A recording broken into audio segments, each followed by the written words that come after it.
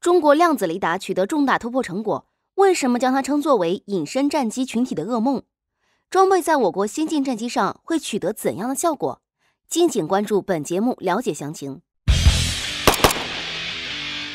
五代机最大的优势就是隐身。对比上一代的四代机，其余三个如超机动和超音速巡航、超态势感知，前两者可以通过更换大推量的矢量发动机，后者可以通过更换先进的雷达航电设备来实现。唯有隐身这项，就是区别四代机与五代机的鸿沟。在十月十三日，中国电子科技集团宣布，其下下研制的超导单光子激光雷达取得重大突破成果。并对数百公里外的低空大气层目标进行了实时跟踪监测，这意味着什么？意味着五代机并不完全不能被侦测跟踪，也意味着五代战机的隐形优势在光子灵敏度雷达之下荡然无存，完全是隐形战斗机的克星。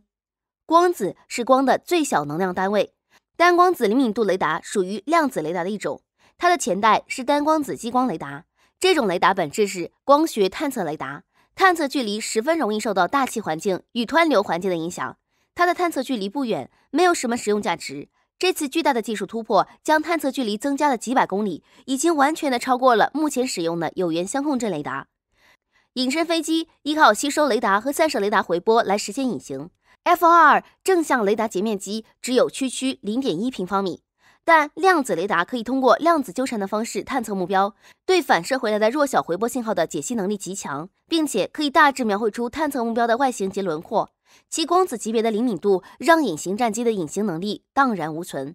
单光子雷达完全成熟后，探测距离可以达到几千公里，对于卫星探测、预警机侦察、战斗机的态势感知能力加成幅度十分大，将大大延伸其探测距离。而且自带抗干扰能力的量子雷达在这方面十分突出，颠覆了原有领域的反制方式。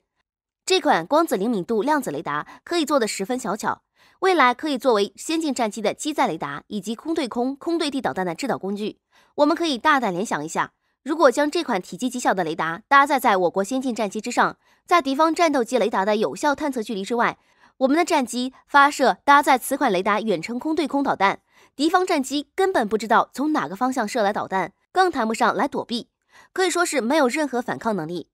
这是极不讲道理的打法。你看不到我的飞机在哪，我就能清楚侦察到你的飞机位置。你唯一能做的就是等待被我发射的远程空空导弹击中，实在令人绝望。